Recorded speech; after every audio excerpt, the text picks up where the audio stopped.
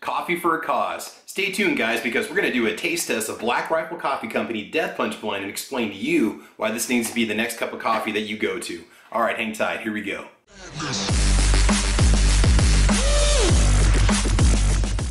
So I have to admit, as I was walking around uh, DE Guns in Lincoln, Nebraska last week, and they had a huge display of Black Rifle coffee, and uh, this one kind of caught my attention. Uh, the Five Finger Death Punch Blend, or just simply Death Punch Blend. Um, it seems kind of an interesting uh, mix of, of heavy metal and coffee. I mean, the two go together well caffeine, energy, and so on. Well, the ties actually go deeper than that. So here's the deal. Uh, Five Finger Death Punch, a Las Vegas, Nevada-based heavy metal band, got together with Black Rifle Coffee Company, and they wanted to put together a blend that they could promote that would actually raise funds, which is the coolest thing for this organization called the Home Deployment Project. Now, for every box and every bag of the Death Punch blend that gets sold, um, there's going to be a, a, portion of the proceeds that's going to go towards the Home Deployment Project. So what is it? Well, this is taken directly from the Home Deployment Project website. You know, when it comes to these uh, these these charity foundations and these groups and organizations, you want to make sure these groups are legit you want to see what percentage actually goes back to the people. And the Home Deployment Project does a fantastic job taking care of the veterans. So, just a quick little kind of summary of what it says. Um, Home Deployment Project purpose is to provide one on one support to displaced veterans suffering from chronic post traumatic stress, uh, stress disorder by providing them with a safe place to live.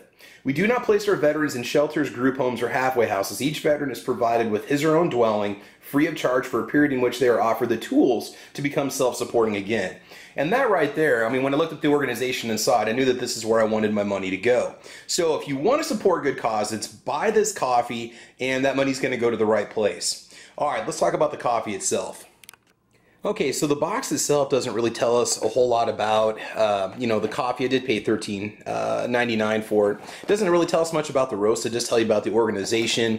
Again, how the heavy metal band does promote um, the Home Deployment Project and how they use their ability and their resources to help promote that organization, which I think is awesome.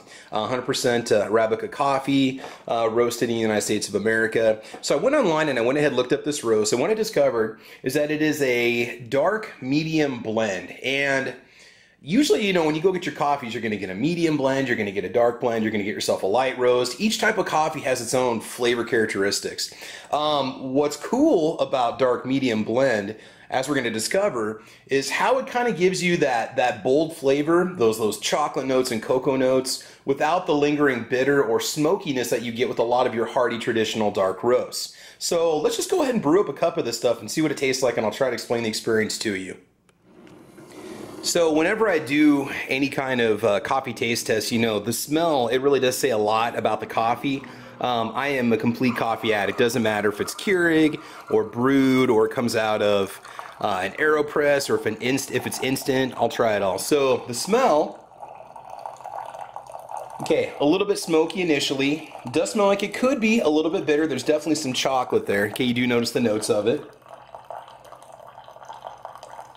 A little bit towards the uh, the skunky side, which is okay because you get that from the dark the dark roast. So now you're thinking to yourself, oh, this stuff is probably going to be just real real heavy. It's going to be more than what I like. So I'll just say this right now: if you're a, a fan of medium roast coffees like Folgers, and you want something with some some more flavor to it, something that's going to linger a bit longer, something that's going to kind of wake you up a little bit, help you discover the true flavor you can get out of your coffee, you want to try this blend. And uh, just kind of off topic, one thing that's cool, if you buy this at your local gun store or sporting goods store and so on, you're going to be supporting local business. So, uh, you know, I paid about a buck more for this than I think I'm going to be paying on the website. But then on the other end, I didn't have to pay for shipping, which really through Black Rifle is not bad. It's like, I want to say four to six dollars, four to eight dollars. And actually, I think right now, if you spend 75 bucks or more, you get free shipping on your order, which is really cool. So when I saw this on the shelf, I had to pick it up. Now they had a huge display, but unfortunately they had this in stock and they had just black in stock a couple coffee canisters and some some bags of just uh, just the just black. So there wasn't much less. And I asked the the guy at DE Guns. I said, "Where's all the coffee at?" And they said they put it out yesterday. And over two days, they had just got it in. Over two days, they had almost sold out their entire stock. So let's go and give this stuff a test. It already smells like a lot of the French roast that I'm used to. Uh, some of those maybe smokier blends. I absolutely love them. See guys, here's the deal. When you get into your late 30s and 40s, you start to shut down. You're starting to die. You're over the hill. You're halfway past your life expectancy. And uh, you start looking for flavors like, like spicy and bitter, uh, for some reason those things just start to appeal to you. Whereas when you're younger, you may not like those things unless maybe you're more accustomed to them as a child. So when it comes to coffees, I'll drink any coffee. I mean, I, am not kidding. I don't care what, as long as it's not decaf, because that's just for quitters. Um, but or people with heart conditions, which I'll probably have someday. But anyway, um, I'll drink just about any kind of coffee. I'm really not too picky about it. But if I can get a good bowl cup, I'll do it. So I want to let this cool down for a second, and we'll just kind of see what happens here. By the way, it had a nice uh, crema on the top of it, which is the foam that forms from the uh, hot water hitting the grounds, releasing the oxygen. And uh, it, it really did have a nice little foam on the top when I first brewed it up. All right, here we go. I'm to slurp it a little bit to get the full flavor bouquet, all right? Yes, I said flavor bouquet. Calm down.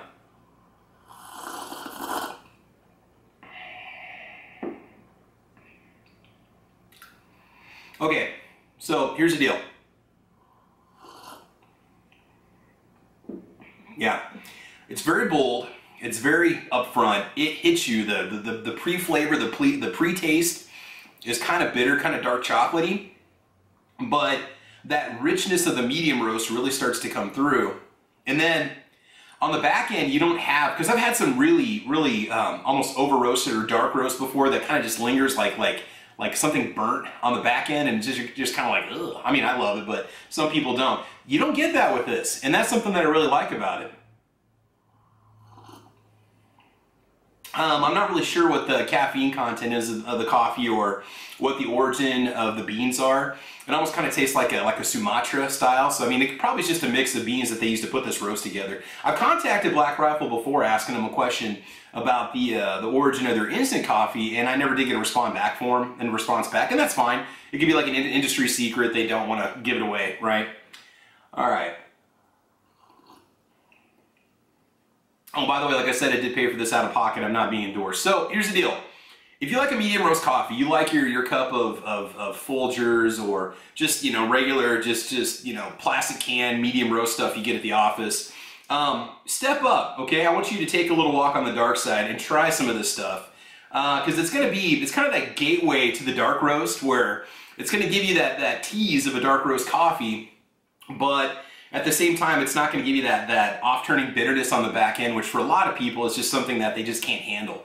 Um, for some people, it's kind of, if you ever drink IPA beers, for instance, um, they can be really bitter on the back end and almost so much to the point that it just kind of lingers and you don't like that. That's what overly roasted or dark coffee does to somebody who's not used to it. It kind of turns people away from it. Uh, one more sip here. All right. Yeah, it's got a nice, just kind of balance it does have that flavor right up front. It does have that little punch right up front that you look for. And it's something I think you could get used to. I think it's something that would, one of these in the morning would definitely wake you up and get you going. I mean, it's 3.30 in the afternoon on a Monday and I'm drinking a cup. But uh, there's no bad time to drink a cup like this. I like it. I'm going to keep buying it. Um, again, I usually go for stuff that that's a little more bitter, a little more on the bold side, but this is not bad. I would definitely, I would definitely rate this as a solid B plus to an A uh, in terms of my favorite coffees right now. This is this would be definitely a good go-to. So so there you go, guys. That's what you can expect when you buy it. I just want to help you know, like if you're gonna be spending your money on it, what can you expect when you buy it? Again, kind of that medium, medium dark roast blend that just kind of edges a bit more towards the dark side. So anyway, guys, that is it. That is my review of the Black Rifle Coffee Company Five Finger Death Punch.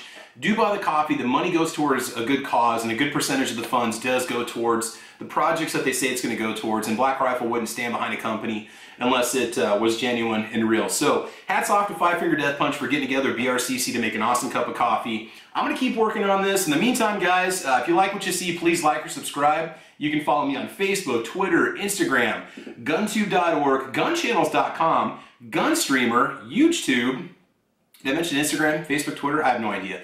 I'm on all those locations for you. Typically the channel name is Travis P11. On Saturday mornings you can find me on gunchannels.com with my Saturday morning podcast called The Caliber Corner. It's on at 8 a.m. Central Time. Do check it out.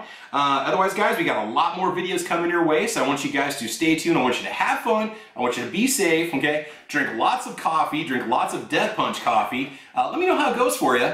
And oh, by the way, chime in down below some of your favorite roaster blends. If you guys are coffee holics or coffee snobs or coffee addicts, let me know down below in the comments what kind of coffee you like to drink, and we will talk to you soon. All right, guys, take care. Bye-bye.